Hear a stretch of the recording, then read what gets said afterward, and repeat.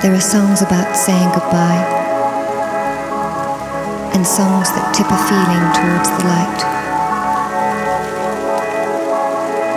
Some songs are about breaking rules and broken wings,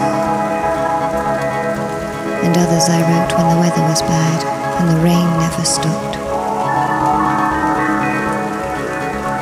Some believe in a happy ending, and some just believe in themselves.